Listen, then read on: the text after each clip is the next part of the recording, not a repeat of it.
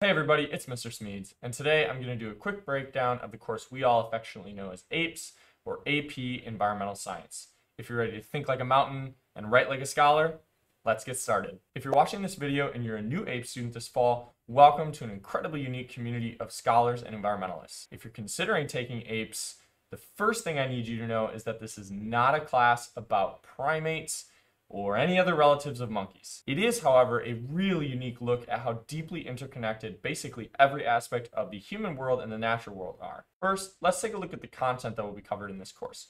If you're familiar with the saying an inch deep and a mile wide, it's a great way to think about the scope of what this course covers. You'll learn about virtually every aspect of the natural world and quite a bit of the human world. How we grow food, how we build cities, where our poop goes when we flush it down the toilet, and how to slow human population growth. And no, not the Thanos way.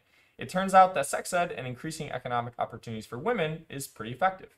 More specifically, we'll cover nine units ranging from familiar biology concepts like ecology and biodiversity to anthropogenic or human related concepts such as land use, energy production, and pollution. And to top it all off, we'll end with the keystone topic in Unit 9 global change.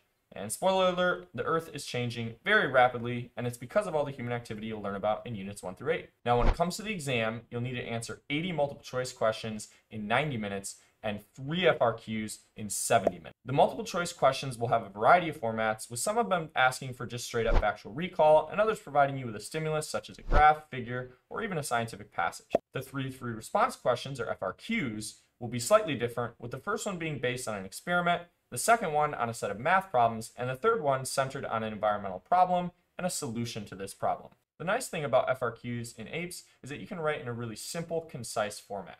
Each FRQ will have several subparts, and each of those subparts can usually be answered with one or two concise, vocab-rich sentences. There's no need to write complex thesis points or look for elaboration or complexity points.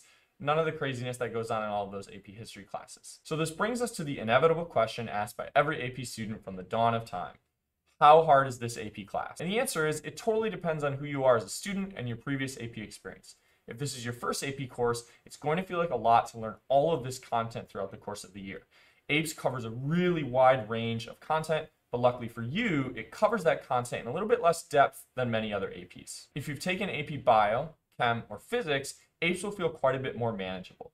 The math that you have to do is not nearly as complex, and the breadth of topics covered is wider, but the depth of those topics is generally shallower in APES. Plus, you already have some of the scientific thinking skills that you need to do well in an AP Science class. If you've taken AP Psych or AP Human Geo, APES is going to feel very similar in the complexity of the information that you learn and the style of writing that you're asked to do on the FRQs. If you're familiar with the channel already, you know that I sign off every video with two mantras.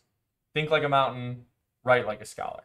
However, these are way more than just catchphrases. These are also my two biggest pieces of advice for every APE student. Thinking like a mountain means learning to embrace the interconnectedness of topics in APES, and also to ask yourself, with every human event or every natural event, what are the environmental implications of this event?